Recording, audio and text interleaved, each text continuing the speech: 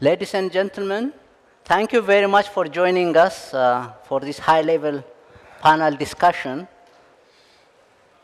Uh, my name is Michael Hailu. Uh, I'm representing the organizers of this panel discussion, uh, which includes uh, my organization, CTA, Technical Center for Agricultural and Rural Cooperation, the International Food Policy Research Institute, IFPRI, the ACP Secretariat, BMZ and GIZ, as well as the Pan-African Farmers Organization.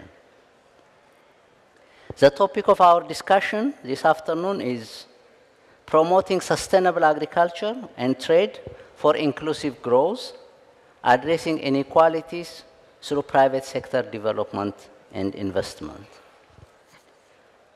Agriculture and trade offer tremendous opportunities for economic growth and job creation, particularly in Africa, where both sectors have a lot of scope for growth in the coming years. The rollout of the African Continental Free Trade Area, AFCFTA, is expected to give rise to a combined market potential of $3.5 billion. By 2030, the African food and agriculture market is projected to increase to $1 trillion, opening up huge opportunities for income for smallholder farmers and others along the value chain, as well as create much needed jobs for millions of young people.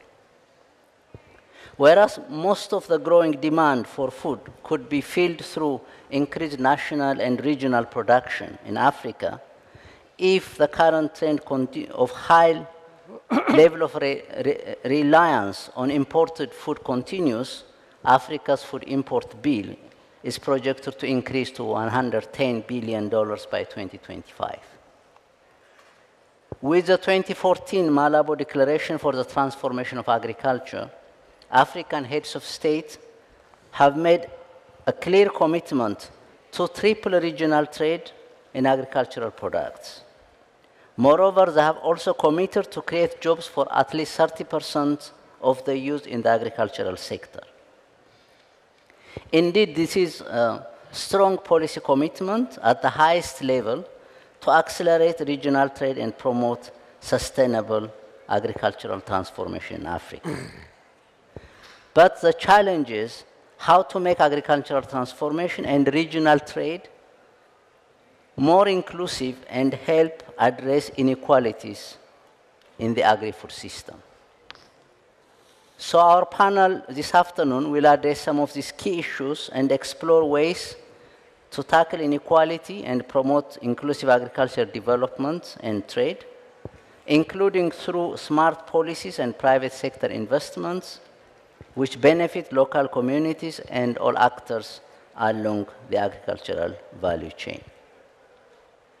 So some of the key issues that we hope to discuss by the panel this afternoon include understanding the main drivers of inequality in the agri-food system, how to promote financial inclusion to benefit smallholder farmers, small and medium enterprise, and other, other value chain actors, the opportunity for Africa, inter-Africa trade to, pro to promote greater inclusiveness and highlight a few, some of the good practices that we have, and finally, to come up with some concrete actions to address the most pressing inequalities in the value chain which could inform policy and practice.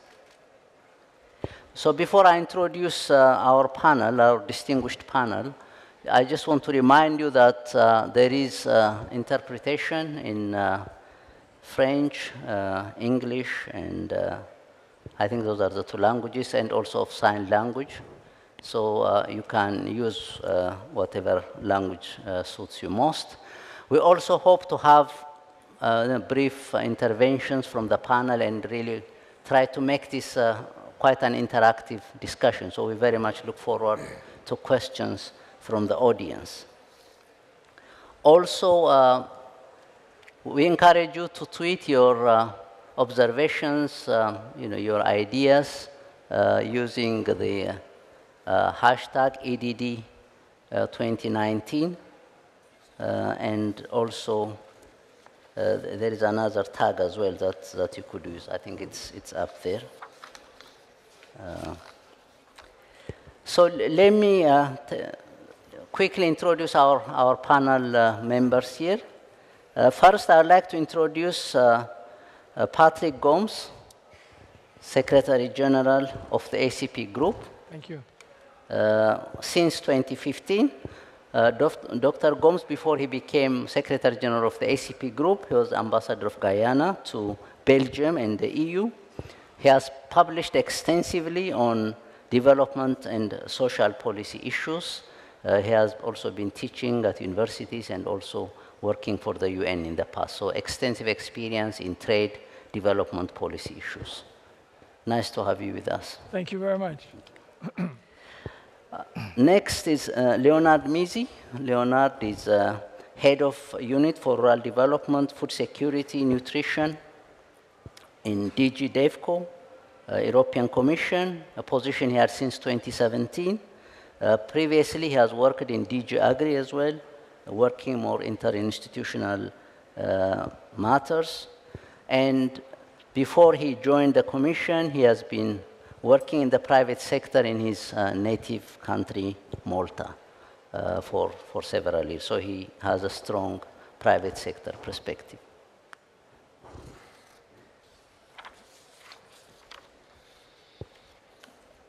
We have uh, Isabelle Durant. Isabelle, uh, she's a Deputy Secretary General of UNCTAD since July 2017. Uh, Isabelle had very senior responsibilities in her native Belgium. Uh, she's very well known, including as a minister and as a senator, as well as she was the vice president of the European Parliament. So a lot of uh, policy experience. Uh, pleasure to have you with us. Ji Yong Heng, Ji is over there, uh, who is a fund manager and principal at the TLG Capital with investment opportunities across the TLG's private credit and equity funds, including managing trade finance and special situations business. He has been responsible for spearheading the launch of uh, trade and supply chain finance with focus on uh, small and medium enterprises and especially supporting sub-Saharan Africa. Nice to have you with us, you. Uh, G. Mwala Moto he is one of the young entrepreneurs, EDD Young Leaders, one over there at the end. Uh, his company operates as a social enterprise uh, aimed at reforesting Zambia and addressing inequalities by empowering smallholder farmers, mostly women and youth. So working on climate, environment issues as well as inequality issues. Uh, Maria de Concepcion Blanco, Maria. She is the head of Sustainable Finance Solutions, BBVA Microfinance Foundation. Uh, for more than 25 years, Concepcion has worked in the banking and financial sector, mostly development of finance products in uh, different geographies. And finally, we have David Laborde. Uh, he's Senior Research Fellow in the Markets, Trade and Institutions Division of the International Food Policy Research Institute. His work is on, microeconomic, on macroeconomics and trade, and his research interest includes uh, globalization, international trade, measurement, and modeling uh, of protectionism. So he will give us you know, the research perspective uh, this afternoon. So welcome. So without any further ado, I will uh, invite uh, Patrick Gomes to give us the setting you know, in terms of the trade issues. Well, you can do it from there where you are. There is no problem. Whatever, whatever yes. works for you. Yes. Uh, please, Secretary. Well, thank you so much, Michael, and good afternoon to everyone. Happy to be here. I know at this time of the day, perhaps it's a little tiring after a good lunch. But uh, the ACP, African Caribbean Pacific Group, uh, is very happy to be associated with this panel. We consider it the most significant panel that you've had for the EDDAs. It's the most significant one. We know that others are a bit jealous. Those from TradeCom, they did good work. But I think why this is important is because agriculture itself is the core, the foundation in the developing world, in the South. And it has been, of course, in the developed world too. And that is why agriculture must play a more significant role in this century, not only for food, but to ensure that the livelihoods of people in the rural areas and rural communities are meaningful and realistic. If not, then we continue to have the problems of the drift from the rural areas to the urban areas. And some would say we have the drift of those who leave the south and come to the north, the migration issue, who move also within their own continent, Africa, etc. Now, when I look at the title, and I've been reminded by Iselina and the organizers, I must think twice. And in thinking twice, I was a bit struck that we're speaking about addressing the inequalities. Well, we want to address and overcome. We want to address and overcome. We want to address and have some line of action and activity that will overcome not only the inequalities, but the increasing, the desperately disturbing, tremendously disturbing inequalities occurring in the world today. We face a situation where less than 1% of the world control more than almost 50% of global wealth. It is a historical time in human societies human sapiens, when we relate to our environment, where this concentration of the few to the top, it is not by accident that there is such a question of challenging elitism, but people are feeling the concentration of wealth too much at the top. And of course, we're very happy to know that numbers of people in developing countries have moved out of poverty and they have income increased in the last 10, 20, 30 years. China is a great example of that. But the deprivation, the distance between the two, in fact, the relative deprivation is worse off now than 70 years ago. Because the real returns on the wages of people, and those we put in the category of the middle class, are not able to have the same value or purchasing power that they've had 20, 30 years ago. The concentration of the market system has become acutely an apex. And therefore, that is disturbing. That is why the inequalities have to be addressed. Now, the inequalities have to be addressed in a comprehensive way. For us in the African, Caribbean, Pacific group, this is a very serious matter. It is a complex matter. So we can't go about it uh, in a simplistic way. And that is why, in the program that we are negotiating now with the European Union, we redesigned, let us say, the pillar. One pillar of trade, which was basically commodity tradings. You know, you buy the lovely cashew or the cocoa, and it comes up here, and the milk of Nestle gives you the best chocolate in the world. But the value of the, the cocoa best. is far less, and the value of the cocoa farmers who produce that is far less than what you get from Godiva, nicely packaged, or Marcolini, wherever. So the value addition that is derived from the basic production and commodity of those who are working there, in fact, is distorted. That is the fundamental basis.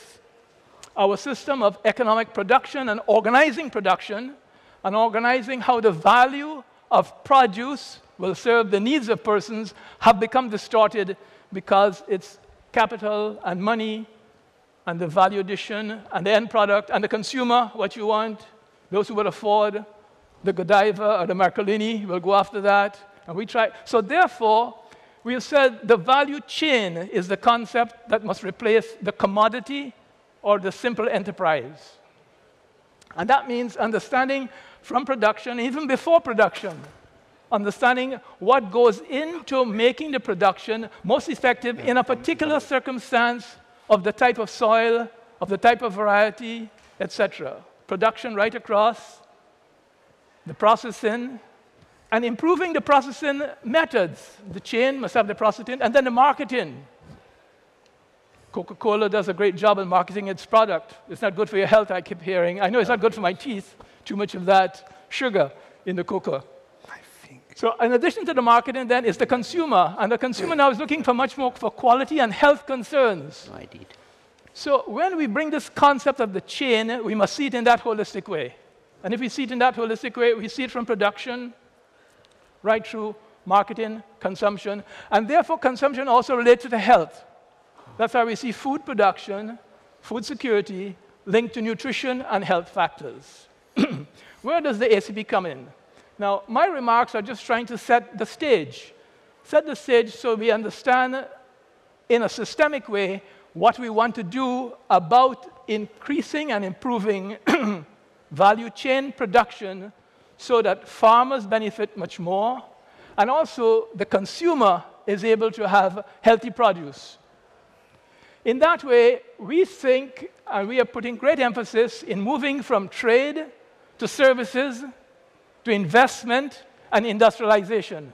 The first pillar by which we are negotiating and discussing with Europe now is not trade and commodities. We did a lot of that in sugar.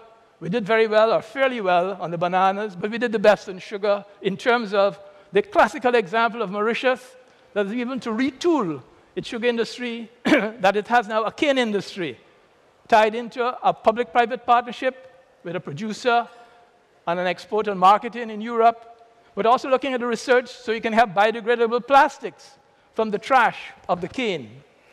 So when we say in the ACP we have this holistic value chain approach, it is because people have to be at the center. People who are producing and people who are receiving as the consumers. That is why the policy area is important. And that's where we play a part. We play a part in trying to look at what we call the governance. If there are not sufficiently incentivizing rules and regulations that will encourage the investors, why would they?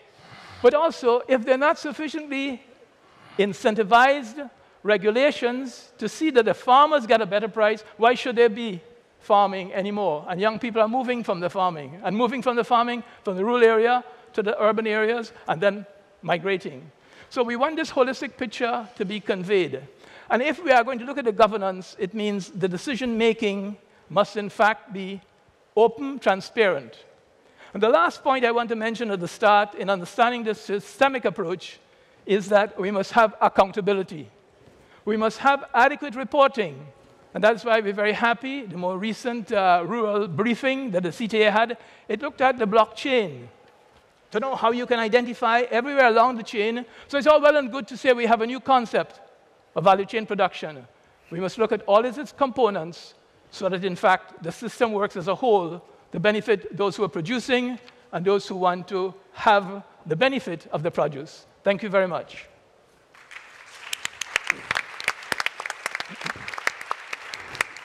okay? Okay, thank you. Thank you very much, uh, Dr. Gomes. Uh, you have set the scene, you know, in terms of the approach of the value chain and the need to integrate policy to ensure that uh, we have uh, equitable uh, food systems in the, especially in the ACP countries and the partnership that uh, the ACP is now discussing with the, with the EU side. So that provides us a very good setting, I think, to continue our discussions. Uh, I would like to uh, now uh, address my question to Leonard. given, Leonard, your extensive experience in the private sector, and of course, since joining the Commission, also the great emphasis on leveraging uh, investment from the private sector. How do you see, you know, the, the way to address, you know, this challenge of uh, inequality and making uh, agri-food systems more inclusive, you know, through investment uh, in the private sector. Thank you, and uh, thank you to Patrick Gomes. Uh, practically, we align, I would say, 99.9% on all what you said. And I just want to give a bit of nuances. And first of all, um, I thank CTA and the organizers for putting this high on the agenda. I think over the past two days, but also over the past years, um, we have started also valorizing more the role of agriculture and agribusiness. We can't risk agriculture and agribusiness falling down the cracks of the international agenda. We speak a lot about everything, but not often about agriculture and agribusiness. It might not be sexy enough to speak about agriculture, but I think this is at the core if we want to address inequalities, especially in the African continent. First of all, I give some headline figures. 10 billion people will live uh, um, in Africa by 2050. 400 million just in Nigeria. So these are big figures. 100 plus million are in acute food crisis. It's not acceptable in today's world with all the digital, all the, all the wealth in, around the globe that 100 million plus are in acute food crisis. Many in the Sahel, but you have Yemen and a number of other countries. So this is, again, something which is not acceptable. Third, we need to create 1 million jobs in Africa per month. Now, when we go to speak to ministers, uh, we have reports, studies, analysis, and when you say, where are you going to create 1 million jobs per month, there aren't many clear answers. Agriculture and agribusiness is part, but you mentioned cashew nuts. Today, most cashew nuts are processed in Vietnam and in Asia. And yes, we need to decommoditize um, the coffees and the cocos, but that requires a holistic approach in terms of strategy. We don't have the governance across the UN agencies, the donor community, to come around the table and see what needs to be done to actually basically implement what we know should be implemented. Nothing is stopping in today's world to actually operationalize the studies, the analysis of what needs to be done to create jobs in Africa. You need clearly to have an industrialization strategy which has vision. Does this exist? Is it systemic? How is it fed within the continental free trade area? And there, Michael, what is the role of the private sector? Since I took over the unit uh, two years ago, it's clear that private sector is high on the agenda in terms of the impulse that the private sector can give to traditional ODA. And that is clearly the way forward. We are also signaling the private sector. But it was also clear from the external investment plan that the appetite to de-risk agriculture is not there, or is not there sufficiently given the big financial gaps that are required to actually revolutionize what Patrick mentioned, basically, we don't speak now more about agriculture, we speak about food systems. How do you revolutionize a food system which takes into account healthy diets, nutritious foods, and trade flows? Mm. And one of the solutions to reduce uh, inequalities is to have intra-regional trade in Africa. We can't have an equal Africa if you have 54 separate markets with 15 to 20% maximum of intra-regional trade. So we need to have a strategy, and I know that there is an Africa strategy of 2063. I always say you can't wait until 2063. You need to really make that leap of progress, which requires you to increase your intra-regional trade. I just read an article a few weeks ago in the, in the Financial Times, which shows rice flows between West Africa, Benin, Nigeria, and Asia. The biggest importer of rice is Benin for rice entering Nigeria. So what signals do you want to give the rice processors in West Africa if you want to be self-sufficient? I, I enjoy hearing lots of ministers saying, I want to be self-sufficient in rice. I heard it 10 years ago. 2019, I want to be self-sufficient in rice. Everyone wants to be self-sufficient in rice. What is the cost of being self-sufficient in rice? And will there be a competitive edge for private sector to invest, for example, in rice? The question of cotton. It's important that the donor community, the UN agencies, and not only the Rome-based agencies, we are going to Rome tomorrow, and we have a major event to operationalize the Rural Africa Task Force. And we are going to show what Europe and European Union and the member states can do for Africa. Following up on the Rural Africa Task Force, having a territorial approach, using the experiences of rural development in European policymaking, showing how to have sustainable land and resource management also giving and pumping research in adaptation to climate change. Having a transformation approach with European business, which gives price transparency. I think even there we need to do more smart, um, smart investments for more equitable. And even in Europe, it took a lot of years. We spoke about unfair trading practices in the CAP and in the milk sector. We need to do this more in the cocoa and the coffee sector. We need to empower farmers' organizations, which we do. Hopefully, digital blockchain can enhance transparency also in terms of deforestation, but we are still not there. But let us show a sense of leadership, sense of ownership, starting from Rome in the coming days, and building up a governance structure to show how things can actually be hastened, fastened, so that private sector will come and invest. Because today they will say, yes, Leonard, investment is important, but I don't have sufficient bankable projects. If you don't make them bankable, I can't invest. I go to all other sectors except agriculture. So we need to build up that framework conditions for bankability, and then investment will flow. Thank you.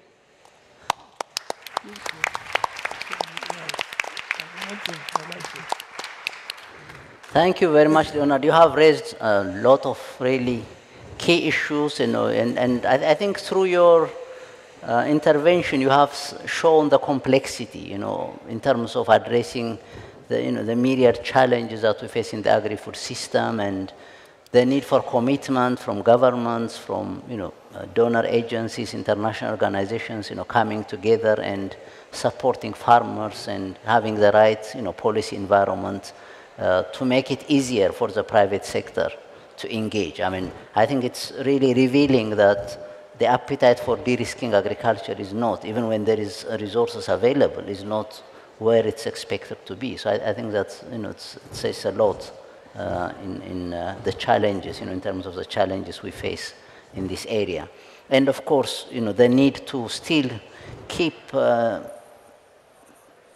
you know, highlighting the, you know, the, the, what's happening and what needs to happen in the agri-food sector. As you say, it may not be sexy as such, but you know, that's something that's really critical, uh, especially for Africa as a, you know, the major uh, livelihood and uh, food security uh, uh, issue. Let me go to Isabelle, and of course, right now you are at UNCTAD, which does a lot of work supporting SMEs and uh, smallholder farmers and so on to engage uh, in, in agribusiness, in trade and so on. So uh, what do you see as the kinds of investments and trade facilitation support that you know, SMEs and, and uh, farmers need to really be able to engage in the market, you know, to be able to, I, think the big challenge is really to involve SMEs and, and, and smallholders in the value chain so that they can benefit from it. So what, what are the things you see and what's, what's UNCTAD doing in that uh, respect? Oui, donc voilà, j'entends qu'il est dit que l'agriculture n'était pas Thank you. Well, of course, agriculture is not one of those very sexy subjects, but it is for me. And I think it really does deserve uh, our attention. We need to approach it differently now. We need a joint strategy between the European Union, among others, and uh, the 2063 pro projects and the African Free Trade Association. But we should take the right path. We need to understand how agriculture functions and how, therefore, we want to develop it. Family, small size agriculture and farming is what's uh, at stake here, depending on family labor. 50% of these small family farms are working in subsistence farming. They're not selling anything, they're just surviving. Only 3 to 5% of these family holdings have access or any kind of frequent or regular access to the market. And those that do sell are less than 2% of farms as a whole. So as you can see, most of um, agriculture in Africa, most farming is subsistence farming, and that is going to get um, larger this amount because young people don't really want to take on family farms. They want to go to the urban areas. Si on se dit qu'on doit travailler à la croissance euh, agricole, we're wanting, Alors of course, euh, to euh, contribute to the growth of agriculture. How can we do this? Well, I'm not sure really that the industrialized massive ou le modèle European model or the American model euh, is the model that actually suits Je pense que Africa. massive de l'agriculture Massive amène industrialization of farming does bring with it a number of dans pas mal additional d'endroits, à savoir problems, and many of us are aware of that. So you can see that uh, mechanized uh, machinery is causing havoc with the land, and in tropical regions, a lot of um, trees are being cut down, and uh, land is lying, uh, is becoming desert, and this really is not the key. This massive um, industrialized agriculture.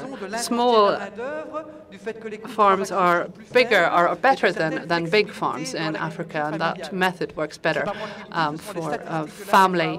Uh, Les petits exploitants ne farms. These small farmers only manage 12% of the overall farming areas, but they dans le monde um, en termes de valeur. ha- C'est produce dit qu'il y a là un 85% of foodstuffs throughout the world in terms of their value. So it's huge when you think about the situation au Ghana, uh, volume they have. But in Ghana, 90% of cocoa is mais représente 30% on a few hectare holdings. And if you think that massive industrialization is the way forward, you're making a mistake.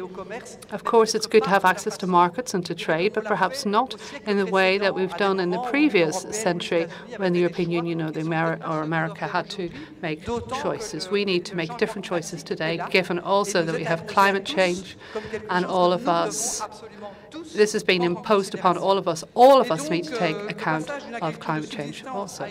Now, moving from subsistence farming to farming that gives one access to the market, of course, les should um, vous qui êtes dans cette salle depend on us here in the travailler dans le developed world. We uh, are working in the development sector and we need to fight against the potential l'agriculture. Et en obstacles to farming, um, agricultural trading. tarifaires. Il y a So there's a problem of um, Beaucoup de produits africains sont exclus tariff um, barriers, and a lot of people are excluded because they don't meet the requirements of the European market in terms of tariffs, and we need to get rid of the obstacles for them. And also for other developing countries and developed countries and donor countries, um, there we all have our responsibilities. Now in Africa, they have to have a strategy that will integrate technology. This is a tool in today's world, particularly um, because many African farmers, most, would have a smartphone. This shouldn't just be used to send WhatsApp messages or to surf the net.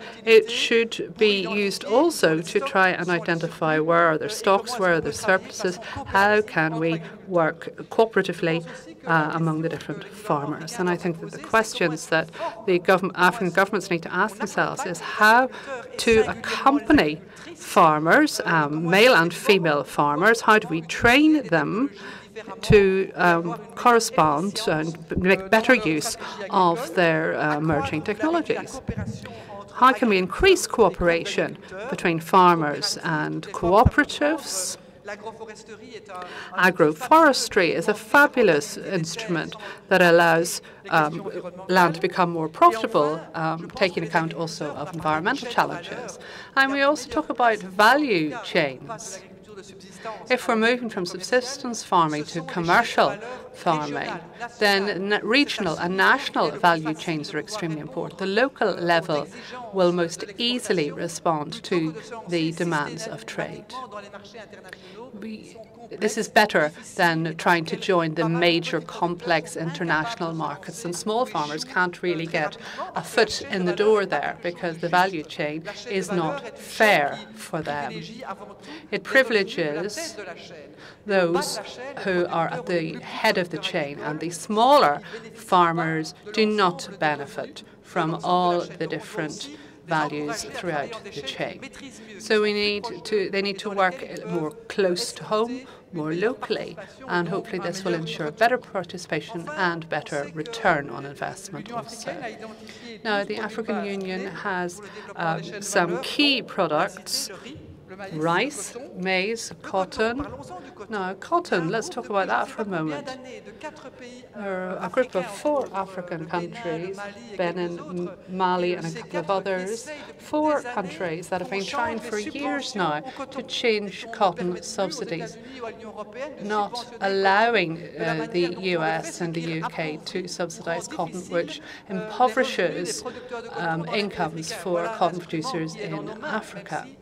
That's an instrument that's in our hands. Of course, it's the WTO, and uh, come back to that in every negotiation. We never seem to reach an agreement on this because in the WTO today it's extremely difficult to find agreements on these issues which regulate um, abuses of power by some over others. So that is a big step for strategies for the future. Trade in bioproducts or organic products is today an expanding sector in developed countries, and it is beginning to take shape also in the developing world. And we've been working on biotrade. Biotrade has specific criteria and instruments that allow producers to work on this type of production. This type of production um, is attractive to many consumers. And in order to establish this, there is a specific set of criteria that allow producers to have access to the market. And uh, these are parts of the major strategies that need to be taken account. Of. We need to keep an eye on agriculture, particularly in the ACP countries? And how can we, in the face of climate change and its challenges, and in this world of industrialization for increased market access, how can we uh, move forwards to, to counter the problems we face today. On the one hand, we have poor farmers, including in the north and in the developed countries, and on the other hand, we also have uh, family um, famine and malnutrition amongst those families and farmers. And then on the other hand, we have obesity and people eating very badly which generate a huge number of health problems. So I think that uh, we need to look at the problem from different sides, and that's absolutely essential. And we will continue to be committed working with African governments, the ACP governments, and also with producer cooperatives and with everyone who allows these small and medium-sized enterprises and family farms to increase in sustainable ways. Thank you.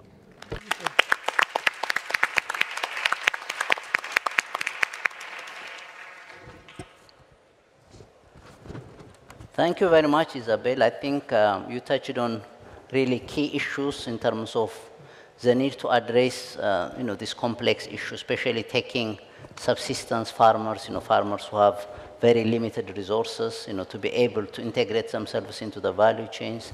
The need to strengthen, I think, what they call short distance value chains or more local value chains so that, you know, smallholders can participate in that and the need for capacity building, and also the need to integrate technology so that one can do a lot more uh, in reaching out uh, and helping uh, SMEs and, and smallholder farmers to be able to access markets. So I think these are very key points, and I'm sure we'll come back to some of this also from the perspective of the global uh, WTO negotiations, how you can bring that policy support uh, uh, taking into account you know, the needs of smallholder producers. So both from the local as well as from the global perspective, I think you have addressed uh, some of the key uh, important points. Thank you very much. So our next uh, speaker is Xi. Uh, Xi Yong, uh, you have been supporting, as we said earlier, uh, access to finance for SMEs, especially in Africa, so that they'll be able to, you know, to trade uh, internationally. So uh, can you share with us, you know, some of uh, your findings? What are you seeing? You know, is this working? You know, uh, what's the prospect for this kind of approach in the future? Sure. Uh, thank you, Michael. I think, I mean, after hearing, I think the, the esteemed panel here over the last few rounds has actually raised a lot of very good points about the need to coordinate between the, both the public and private sector's partners. But I think one thing that I'd like to highlight is also the wider community needs to understand from a foreign investor's perspective and how we look at, at investments in Africa. Because if you just take statistics wise, there are a lot of other emerging markets and frontier economies around the world. But how come the penetration rate of foreign investments in this region is relatively weaker or poorer compared to the other frontier economies or emerging markets? And from my point of view, let me start with how the way I look at things. The key issues here in idea is also a lot of more idiosyncratic. What I mean by this is there seems to be a lack of trust between people who has money and people who needs capital. People, a lot of people goes into, into Africa, into this region with lots of hope, lots of impact, understanding, and hopes to actually change the region, but they come in as an activist rather than a suggestionist, if you know where, if you know where I'm coming from. So what you have next is that a lot of investors like us have a point of view where they go in as a private equity fund or private credit fund. From day one, they already know they already have an exit horizon. And that cannot work in Africa. If you from day one knows that you're going to get out in five years' time, what you turn out is that you do not align your views and values with that of the entrepreneur. And so how we look at things from my perspective is over the last 10 years, we have been experimenting and trust me, I mean, we have paid our school fees as well. But I think over the years, what we learn is we do a three-prong approach in how the way we, we tackle it and how the way we add value to the agriculture supply chain in, in the region. One of the things that we do, the first approach, is actually we structure ourselves as not rather as a private equity or a private credit vehicle, but we structure it as a permanent capital vehicle. I think that is very key, and to all the foreign investors out there, one thing we see here is that we are not duration bound. AKA means we're able to better align our values, able to sit down and partner with the entrepreneur, understanding his needs, and to understand local market peculiarities. More importantly, and so we take this what I call the risk sharing approach where we forge strong relationship with the governments, the, the private sectors, the local community, so that everyone has a much more of a longer term perspective. The thing that we focus on right now is what I call the missing middle. I think for us at TLG Capital as well, what we focus on is we tackle the missing middle. What do I mean by that is allow me to explain. Imagine a pyramid. The top tip of the pyramids are your larger corporates, which are pretty well served. And interestingly, the bottom of pyramids are your micro enterprises that actually the micro financial institutions are catering to. But what we found out over the years is that it is the middle part of the pyramids that are what I call the missing middle. There is such minimal access to capital that over the last two years, with increasing global banking regulation, and top it up with countries like Nigeria, Ghana, where there's high sovereign rate of returns in just buying the sovereign T-bills, what you have is that local banks there, even though they receive cheap amount of fundings from local DFIs or larger you know, non-government organizations giving them 3 4%, a huge amount of few hundred million facilities. But all these banking, banking local financial institutions, what they do, which is totally understandable, is that they take this funding and just invest in a 16% local Nigerian treasury bills. Why would they take the risk and on lend it out to small, medium enterprises that requires it? So what we decided to focus on is this missing middle. And we decided to work in a structure is what I call a self-liquidating structure, where because we do not have a permanent, uh, we, don't, we are working as a permanent capital vehicle, we're able to structure structures that actually allows the company, the entrepreneurs, and the enterprises to actually grow along with it, while at the same time capping our risk in this way. The second, the third part that which you look at on is actually we focus on medium, small to medium-sized deals.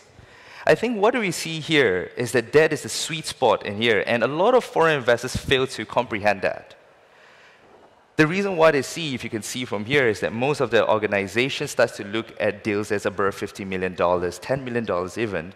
And what you have is that you start to juxtapose yourself in infrastructure, extractive industries, oil and gas. And, but when you actually look at small to medium-sized deals, which we, where we see the sweet spot in, that is where we're able to better look at wider opportunities, particularly in the agriculture supply chain. So what we hear is that because we are better able to identify high growth, mid-cap companies with very interesting business model that we're able to work with.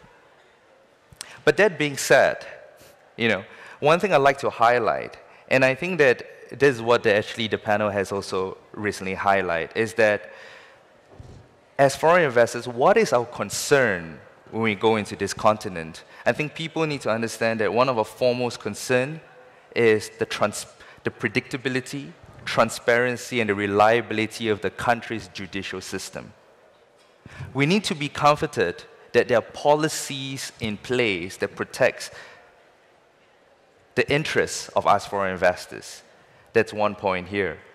And two, I think that structural reforms needs to be put in place to ensure that there is a much more conducive environment for us to invest in. I mean, now what I see to take positive that there are certain countries, even like Uganda, Ethiopia, they're making adjustments to domestic policies to reduce cost and complexity in structural processes. There is also now liberalization, strategic liberalizations in some policies that allow foreign investors to come in and gain 100% ownership as well, and to work with the local entrepreneurs. That is very important.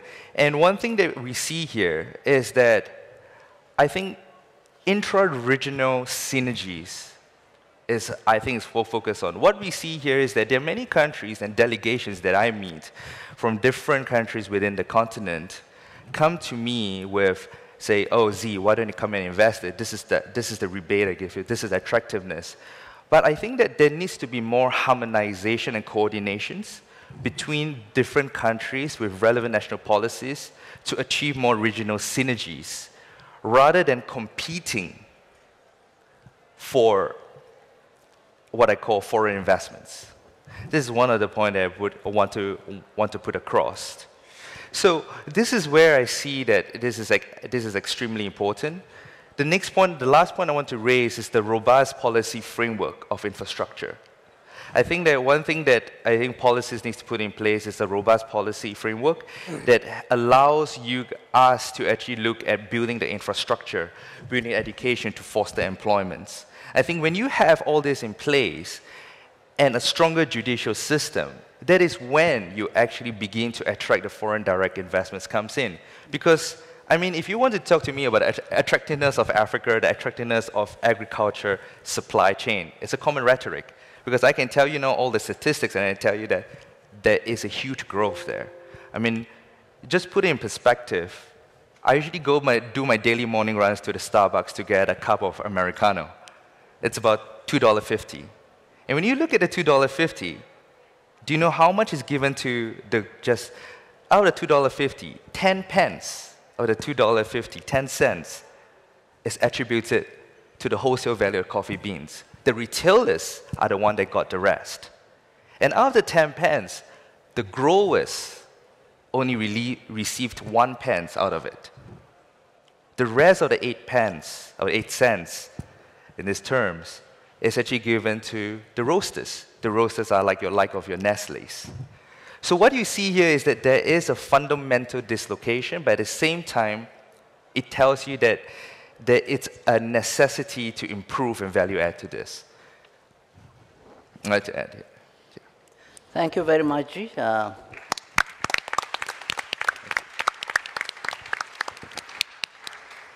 thank you very much. You have uh, highlighted, of course, the need, you know, to have the legal framework and, and uh, you know, all, the, all the pieces in place so that governments encourage foreign investors to come in.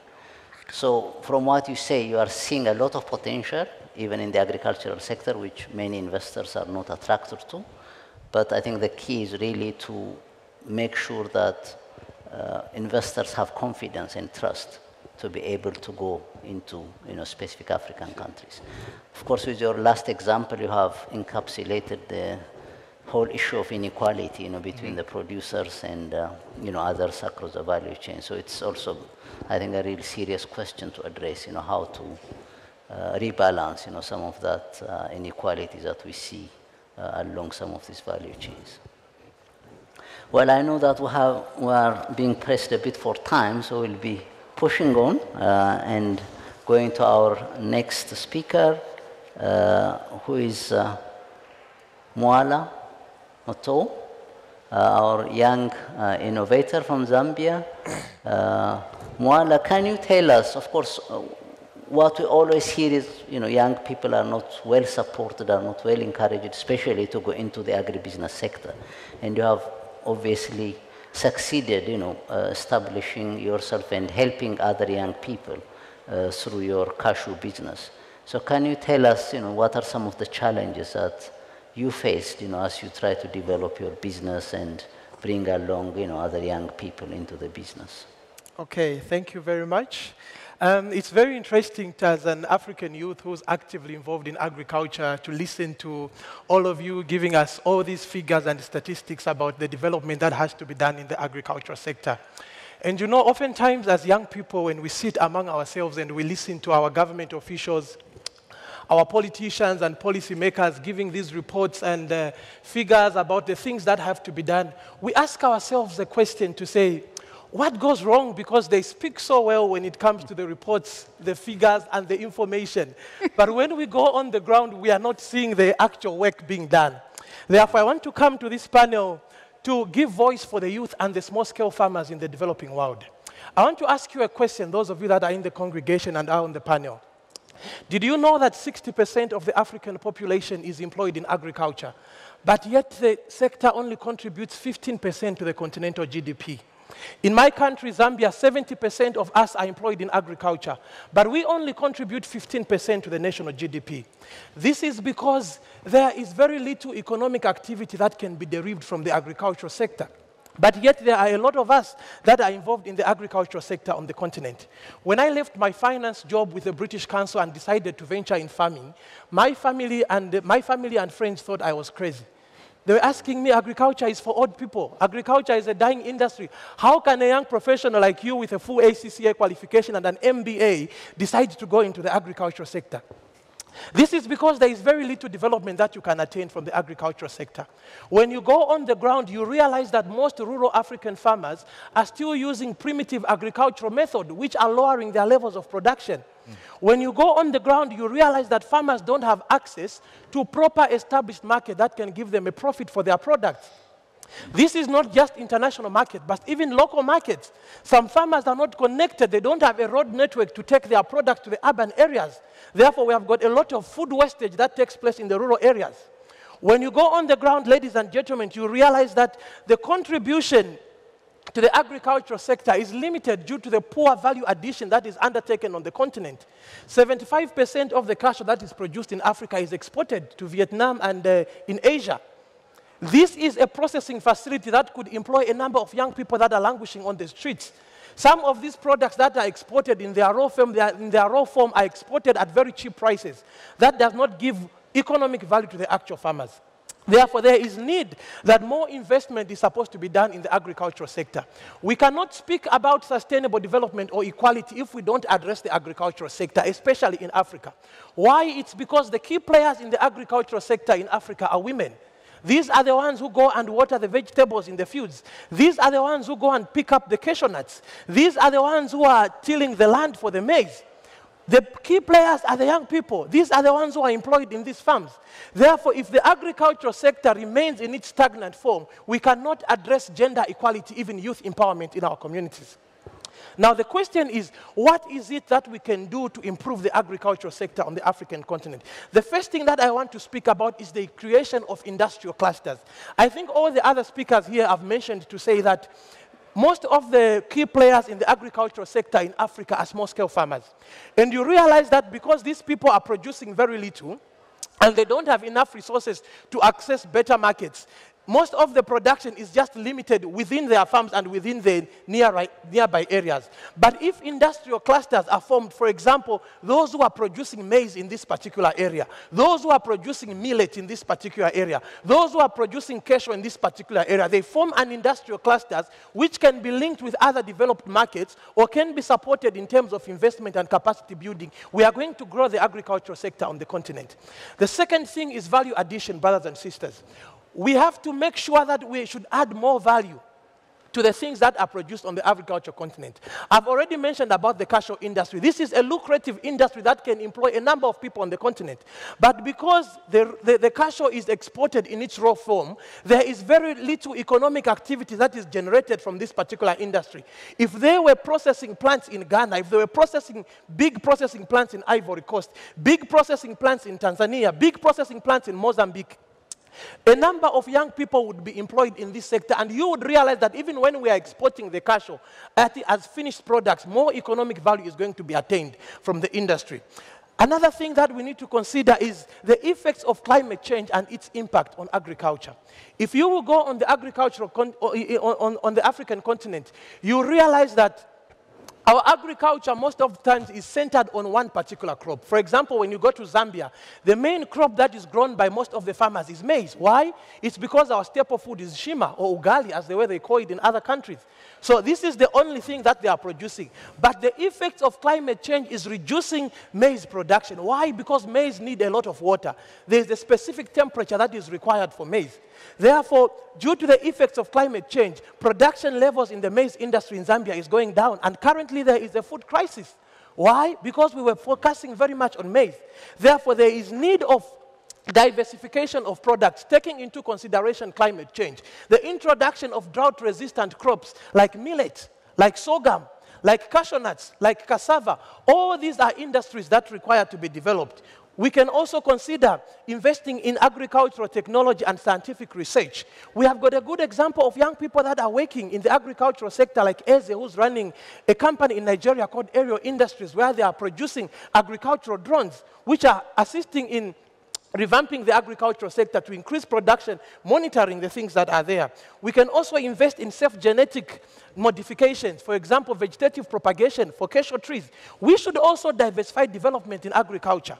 I want to emphasize on this point because most of the times there is a lot of money that is allocated by international corporations to develop the agricultural sector. But you realize that let me just summarize. You realize that because most of the times the money is channeled to government only, most of this money is just spent on what? On meetings, in the high level meetings that they are discussing about policy frameworks. They are buying big vehicles, but yet the actual farmer on the ground is not benefiting on it. Therefore, ladies and gentlemen, food is a basic need, and its continued scarcity is a threat to peace and security. We have to address the inequalities that are there in food production and distributing, or else there will come a time when the poor will have nothing to eat but the rich. And we are going to have a crisis. It's important that all of us work together to improve the agricultural sector. Thank you. Mm.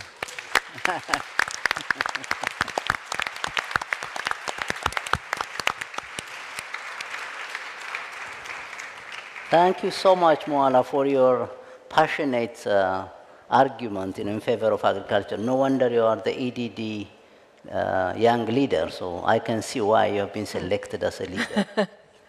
So well done. Uh, I think uh, the points you have raised are all pertinent, really, in terms of uh, the value addition. We have talked about that, especially you bring the issue of climate change and more challenges and more inequality being created by climate change. So I think, uh, you know, and, and the need for research and innovation. I think that's something we haven't really brought up, but absolutely critical, you know, if we are going to make any headway in the agri-food system in Africa. So, um, our next speaker is uh, Concepcion. Uh, her uh, company, uh, from the way I understand, you have several um, microfinance uh, institutions that you uh, have within your, your group, and you have been specially addressing the needs of marginalized people, in particular women. So this would be really quite a key area to see in terms of uh, access to finance, and we would be very happy to hear what are some of the things that you have been doing, what has been your experience, where do you see you know, the real need you know, in terms of scaling up this work? So, good afternoon, ladies and gentlemen. First of all, I would like to express my gratitude to the EDD organizers for hosting us today. Uh, and I would also like uh, for your kind presentation. And thanks uh, everybody for joining us. Uh, it's a great pleasure to share with you the experience of the BBVA Microfinance Foundation in promoting sustainable and inclusive development of vulnerable people in Latin America. The BBVA Microfinance Foundation uh, was created in 2007 within the corporate social responsibility framework of the Spanish financial group BBVA. The foundation operates through a group of six microfinance institutions in Colombia, Peru, Chile, Panama, and the Dominican Republic. Since its, uh, ever since its establishment, it has uh, originated, as uh, we can see, uh, more than 11 billion US uh, dollars through microloans to more than 5 million low-income entrepreneurs. I would like to highlight some figures that uh, make clear the challenges we will face uh, in the near future. According to the World Bank, uh, more than 75% of the vulnerable people in uh, developing countries are currently living in rural areas, of whom 80% depend directly or indirectly on agricultural production as their main source of employment and income. Also, FAO uh, estimates that 60% uh, of these vulnerable people will continue to be rural in 2020. So, agricultural development is considered a key factor in achieving the eradication of poverty and hunger. Furthermore, at the moment of the around uh, um, 500, uh, 570 million farming operations on the planet, 90% are family owned and over 72% are small scales. These family operations produce a large part of the world's food, but these families are also among the poorest and the hungriest in the world.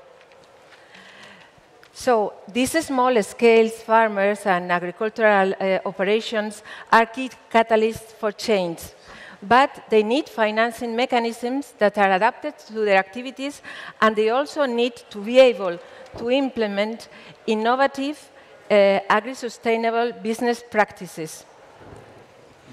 Therefore, changes are, uh, changes are necessary to increase the productivity of these primary activities, to improve the capacity of these small-scale producers, farmers producers, so that they can generate surpluses, gain access to new markets, and improve their incomes.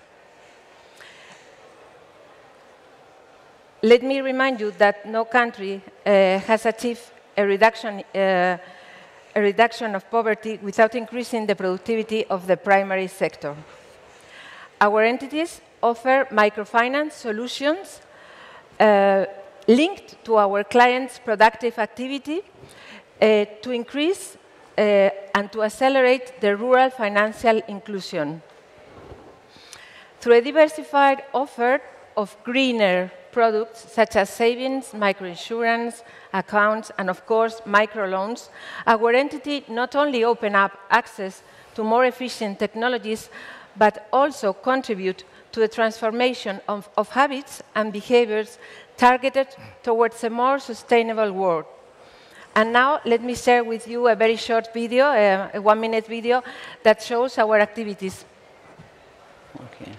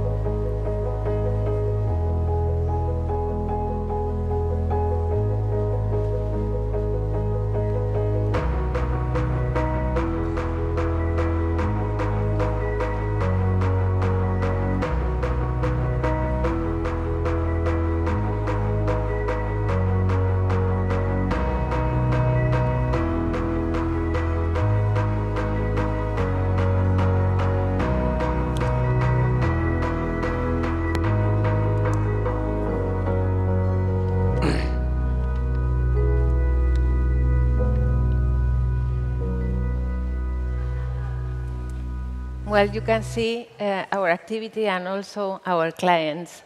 Uh, let me emphasize now that we collect da data from all our clients on a recurrent basis that measure their progress. Through our impact measurement system, it is possible to, to ensure the fulfillment of our mission. Uh, you can check and download, if you want, uh, our social performance report from our website uh, to, to, have more details. So we see how BBVA, how BBVA Microfinance Foundation is firmly committed to this sustainable development, and we will see how financial inclusion has an enormous potential to contribute to the inclusive transformation of the rural environment, and in doing so, taking an active part in achieving many of the 2030 Agenda's SDGs. And let me end by quoting uh, the General Secretary of the United Nations, Ban Ki-moon. We are the first generation that can wipe out, out extreme poverty, and we are the last generation that can address the worst impacts of the climate change be before it's too late. Thank you very much.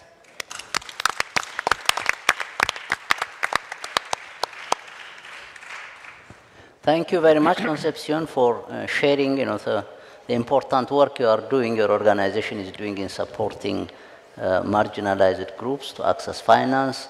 Uh, we work, CTA has been working with uh, your organization yeah. in uh, Dominican Republic, and yeah. we have had some very interesting results. We appreciate that partnership.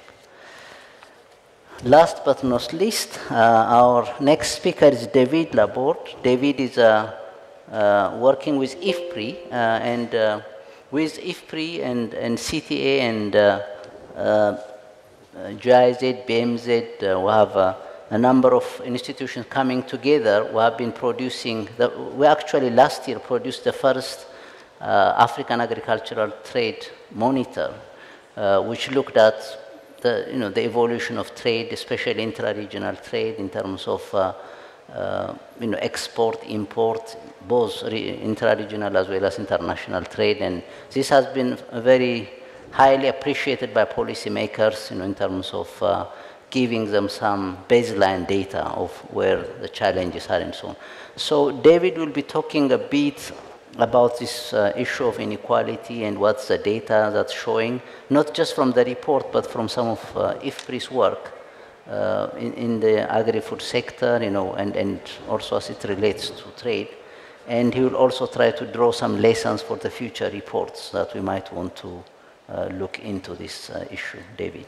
Merci. Pour, Thank you. I'll try to be brief, given the quantity of information that's already been um, mentioned this afternoon. So, through CTA and with the support of the German agency, we have produced this report on market access in Africa and also on Africa's position in the world and its regional integration. I'm not going to go into the details of the report. I'd like to focus on inequality and the link between um, the agriculture uh, between agriculture and inequality. What's important in this report um, is that the world is changing. You can't keep the same ideas in your head as you had 20 years ago about what um, Africa is. Previously, Brazil, Argentina, sorry? And Russia. Brazil, Argentina, and Russia were the uh, main suppliers of agricultural produce. And obviously, the EU countries would be um, on that list too. But you know, this, this idea of a world where North and South are very polarized is no longer true we need to put, um, we need to uh, make sure that we're more up to date. Now, I talked about a link between inequality and trade. If you follow the news, you'll know that trade is a very thorny and sensitive issue. This is an issue in developed countries and developing countries, and globalization isn't perhaps the most popular concept. Integration of markets um, and competition has created winners and losers. And what we want to do is redistribute wealth in society so that we respect the social contract. In Africa, And given, in particular, the strong regional integration with the uh, African continent free trade area, we need to have an active policy to avoid um, us taking a step backwards. Otherwise, we're going to have the same tensions as we've seen in Europe, and some countries won't be satisfied. Perhaps I could um, mention an analytical point when we're talking about inequalities in trade. When I say there's inequality between countries, um, we need to be aware that the African continent is very diverse, with some very advanced economies and um, some um, uh, like South Africa, and there are other countries which are still at a lower level. For example, the Central African Republic. Integrating those economies, which are so different, is a major challenge. They're as different from each other as the United Kingdom and Greece. This is not easy. It can bring enormous gains, but we do need active policies. We're going to see inequalities within countries too, so between agriculture and services, say, and within agriculture, between different value chains, between livestock breeders and cereal growers, for example. And we know that there's an ethnic dimension too in some countries, which, uh, and sometimes the winners and losers um, are divided along ethnic lines. There are political consequences too. Similarly, there are territorial inequalities. And when we're talking about inequalities, uh, land is very important because you can't move land. You can move water a bit, but you can't move land. And when we ask why young people are leaving agriculture and the rural world, it's not because farming isn't an attractive job. It's because you don't have services in rural areas that you have in cities, and young people want access to those services. So managing inequality from that point of view is very important. And then inequality related to trade, you're going to find that within households too, between men and women too, because in agricultural um, households you have specialization in different tasks. For example, the men might look after the livestock and the women might have different tasks. So you can accentuate those inequalities or you can try to remove them. Now, farming in itself is not going to miraculously reduce inequality. It really does depend on the context in which we're working. It depends on the country and it depends on the different conditions. But uh, trade can be a catalyst and it can accelerate progress.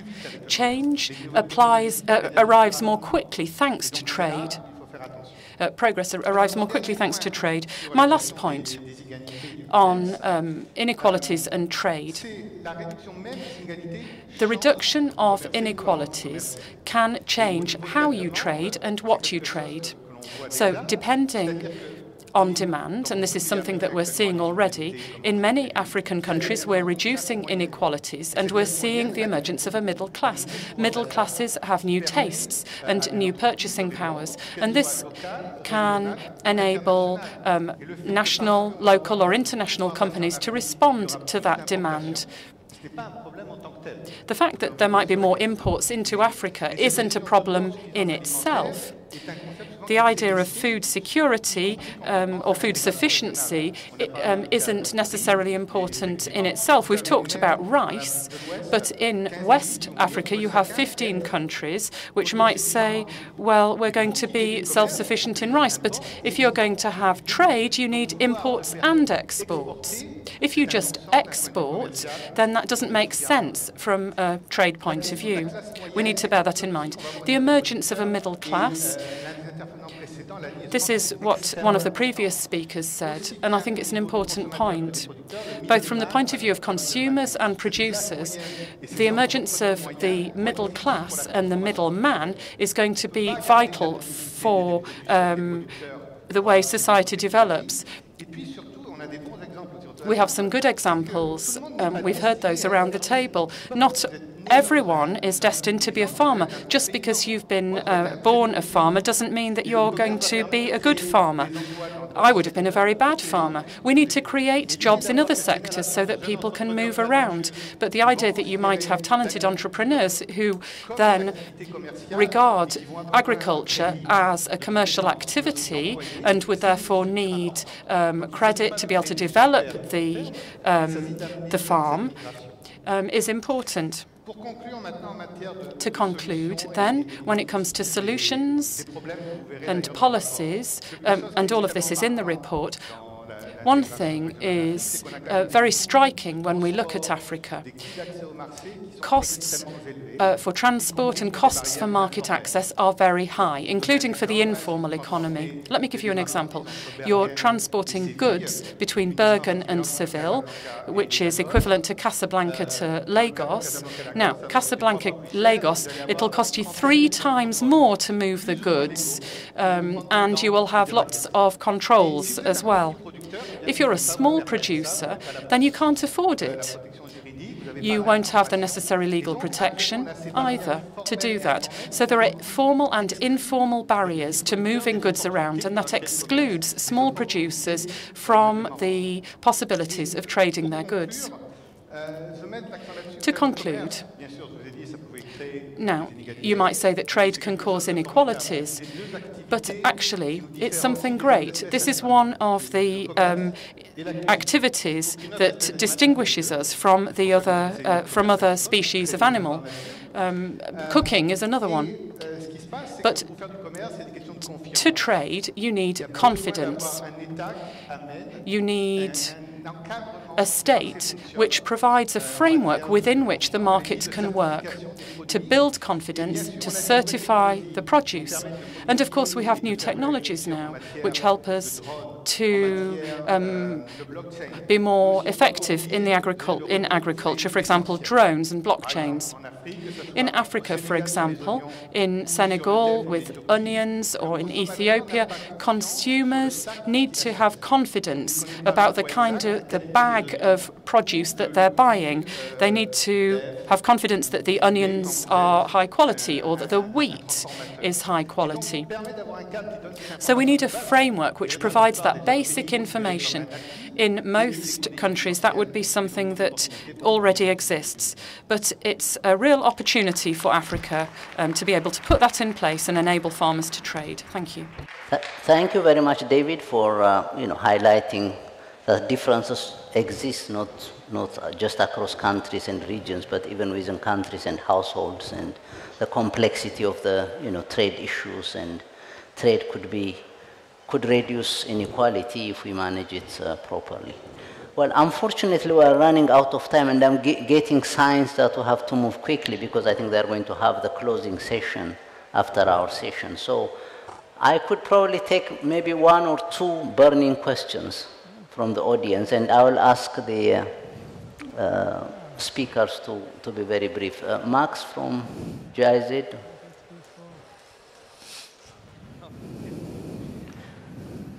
Yeah. Um, thank you very much, Max Baumann from uh, GIZ. I just would like to emphasize a point I was missing when we talk about supporting and fostering regional, intra-regional trade in Africa. This has to come hand in hand with a strong commitment for food safety. Uh, and I don't mean food safety in terms of exporting to European markets, but food safety for intra-regional cross-border trade in Africa, because this can be a first step to develop improved standards, especially also for uh, local and smaller producers. And there, my question would be maybe also to Isabelle and uh, Dr. Gomes, how do you see uh, the role of the regional economic bodies, CAADP, AU-NEPAD, I mean, we have this new indicator on food safety in CAADP, but how this can become implemented, I think it's a, a crucial question. Thank you. Thank you. Uh, can I have the lady over there? The lady, just right there. Thank you. I'm Alan Asimwe from Trademark East Africa. We support uh, countries and organizations to trade by easing the cost of doing business. It's a very interesting topic, the nexus between agriculture and trade, and one of the issues we've been struggling with. Because, like uh, Miller said, it's like a bottomless pit. You invest so much, you don't see much coming out. But one of the things that we really need to see is how to shift the balance of power back to the farmers. And again, Isabella mentioned it, the whole issue of aggregation, consolidation, from the one acre farms and small holdings that we have to seeing how we can consolidate and get our farmers to actually start trading. But if they trade on their own, they're not going to make a difference. But our cooperatives, unfortunately, have been decimated. So how do we go back to balancing and shifting the power back to the farmers through all those cooperatives that enable them to negotiate better, have better opportunities to source? So we are looking at cross-border markets, we are looking at logistics, but there's a lot more needed to shift the balance of power, especially when it comes to value addition. A lot more is needed. Thank you. I'll take one last question. Yes. Thank you, Mr. Uh, Moderator, Director uh, Hailu. Uh, Mr. Barouti, I'm Senior Research Fellow within Research and Documentation Juridique Africaine. And indeed, we in our organization, we are trying to deal with uh, different judicial systems as the speakers close to Madame Isabelle uh, raised it uh, up. But we should also recognize that after the the independence, there were some investment uh, agreement between the old colon, uh, uh, country and the new uh, uh, country, uh, colony, from colony. The agreement was for the fourth maximum minimum 90, 90 years. So the, those kind of agreements are, continue, are going and continue to be applied, and it's not easy to change the uh, judicial system if we don't negotiate with the old colony. And I will finish with the uh, issue of cooperation between regions. In Africa, it's possible, but if we scan, scan through the relationship between African countries, we see that many neighbor countries are in conflict. So we should first finish uh, the issue of conflict between countries before to think about cooperation. Thank you. Thank you. Uh, well, I'll just uh, uh limit to those two questions, and uh, Isabelle and uh, Dr. Gomes, can you have quick response? Yes, very, very rapid response about food safety. Um, yesterday we had a workshop on geographical indication. And the geographic indications are one way that we can guarantee the quality of products, but also to what extent they uh, represent uh, an economic value and are identified with a specific area, not just gastronomic quality but uh, value, but also um, commercial value. And this is one way of guaranteeing the quality of the foodstuffs, which will help um, non-tariff barriers to be collapsed. So working on quality is extremely important in terms of exports at regional level and international level. And I just wanted to come in on what the woman down here said. Cooperation, um, producer groups. Um, of course, this makes them stronger, allows them to negotiate prices, allows them to work um, seriously and to avoid dispersion, and that is extremely important and absolutely the best way. And we're looking for government policies that can encourage and subsidies, give subsidies and support, even if those uh, political actors are not in agreement with the policies of the government. Sometimes we don't want to subsidise systems that we disagree with, but those are the rules of the game. If we are wanting to encourage producers to come together and to have a greater weight and force. And the third issue is confidence, trust, and the problems with the, the those who previously were the colonizers. That's a difficult, tricky issue when we're trying to construct a, a, big market or an African free trade zone, that is going to take time. We need political agreement and we need to ensure that we do everything we can. There will be losers. Absolutely. It's not going to be a magic solution for all our problems. This is an agreement, however, which is in everyone's interest, but there will be losers. And my organization will also risk incurring losses to encourage other people to negotiate intelligently in their own national interests so that the global market will not be the overall loser. Otherwise, it's never going to work. There are problems, of course. I was listening to a program today on Albania wanting to join the European Union. Oh, my goodness, those discussions, I'm not sure everybody's very enthusiastic about that prospect but we are trying to bring in countries that are at a completely different level of cooperation, that have different interests. We want to ensure they don't get left behind, but we don't want those who bring everyone else down. It's going to be a very long path, but there are policies we can implement to accompany them. Uh, I'm just briefly. No, I'm clearly what Mala has said and the lady's question. Shifting the balance of power is fundamental shifting the balance of power, and therefore organizing. What I think in many of these instances, we do not put on the table what has been successful, what is accomplishing some specific goals. And that's where I think uh, a contribution of Marla is so critical that you say where the clusters have worked, what have been their, their benefit and value, and how you can expand that. So there will be a multiplier effect. And that's why I think I like Leonard's point, the coordination among the international organizations so fundamental. Maybe we're tripping over each other. We all know the same thing. I have to regret, regretfully said, these same comments were made 40 years ago when I first went to my conference on agricultural economics in the Caribbean. That we're speaking about the Thank same you. things at the same time, and we're not putting what has been successful so it can have a multiplier effect the family farming system, yeah. where there's been coordination, how you link the research, and IFPRI's work. So I think some more of that is much more case study, the clinical uh, yeah. analysis and consequences so that we can model it and move forward.